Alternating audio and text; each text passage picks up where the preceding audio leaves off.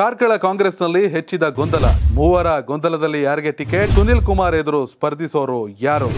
ಯೂಟ್ಯೂಬ್ನಲ್ಲಿ ಸಬ್ಸ್ಕ್ರೈಬ್ ಆಗಿ ಫೇಸ್ಬುಕ್ನಲ್ಲಿ ಫಾಲೋ ಮಾಡಿ ವೆಬ್ಸೈಟ್ ಲಾಗಿನ್ ಆಗಿ ಕಂಪ್ಲೀಟ್ ನ್ಯೂಸ್ ಸುನಿಲ್ ಕುಮಾರ್ ಕಾರ್ಕಳದ ಶಾಸಕರು ಸಚಿವರು. ಅವ್ರಿಗೆ ಈ ಬಾರಿ ಒಂದು ರೀತಿ ಚರ್ಚೆ ಪ್ರಮೋದ್ ಮುತಾಲಿಕ್. ಏನು ಪೈಪೋಟಿ ಅಂತೂ ಇಲ್ಲ. ಗುರು ಶಿಷ್ಯರ ಹೋಳ್ ಒಂದು ಕಾದಾಟ. ನನಗೆ ಅವಕಾಶ ಮಾಡಿಕೊಡಿ ನನಗೆ ಕ್ಷೇತ್ರ ಬಿಟ್ಕೊಡಿ ಅಂತ ಸುನಿಲ್ ಕುಮಾರ್ ಯಾಕೆ ಬಿಟ್ಕೊಡ್ತಾರೆ? ಯಾಕೆ ಬಿಟ್ಕೊಡ್ಬೇಕು? ಪ್ರಮೋದ್ ಮುತಾಲಿಕ್ ಬಂದ ತಕ್ಷಣ ಓಕೆ ಅದೆಲ್ಲ ಓಕೆ. ಆ ಸಮಸ್ಯೆನೇ ನಾವು ಬಗೆಹರಿಸ್ಕೋತಾರೆ. ಮತ್ತೊಂದು ಕಡೆ ಸುನಿಲ್ ಕುಮಾರ್ಗೆ ಅಡ್ವಾಂಟೇಜ್ ಅಂದರೆ ಕಾಂಗ್ರೆಸ್ಸಲ್ಲಿ ಯಾರಪ್ಪ? ಪ್ರಬಲ ಪೈಪೋಟಿ. ಈ ಹಿಂದೆ ಮಂಜುನಾಥ್ ಭಂಡಾರಿ ಅವರು ಇದ್ದರು ಕಾಂಗ್ರೆಸ್ ನಿಂತ್ಕೋತಿದ್ರು. ಈಗ ಅವ್ರು ಇಲ್ಲ. ಕಾಲವಾಗಿದ್ದಾರೆ.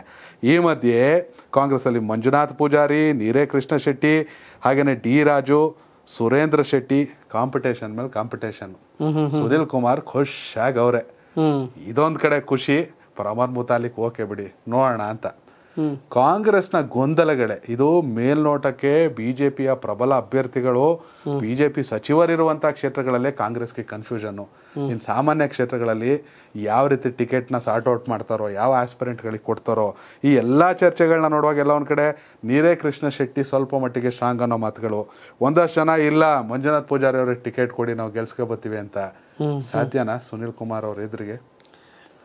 ರಾಜಕೀಯದಲ್ಲಿ ಎಲ್ಲ ಸಾಧ್ಯ. ಅಸಾಧ್ಯವಾಗಿರೋದು ಏನಿಲ್ಲ. ಇಲ್ಲಿ ಯಾರು ಪ್ರಬಲರು ನಾವೇ ಉಳಿದವರ ದುರ್ಬಲರು ಅಂತ ಏನು ಅನ್ಕೊಳಂಗಿಲ್ಲ. ಬಟ್ ಸದ್ಯಕ್ಕೆ ನೋಡೋದೇ ಆದ್ರೆ ಬೇರೆ ಭಾಷಣ ಬಿಟ್ಟು ನೋಡೋದೇ ಆದ್ರೆ ಸುನಿಲ್ ಕುಮಾರ್ ಸ್ಟ್ರಾಂಗ್ ಸ್ಟ್ರಾಂಗ್ ಕಾಂಗ್ರೆಸ್ ಆ ದಿಸಲ್ಲಿ ಕೆಲಸ ಮಾಡ್ತಿದೆ ಸೋಲಿಸ್ಬೇಕು ಅವ್ರನ್ನ ಅಂತ.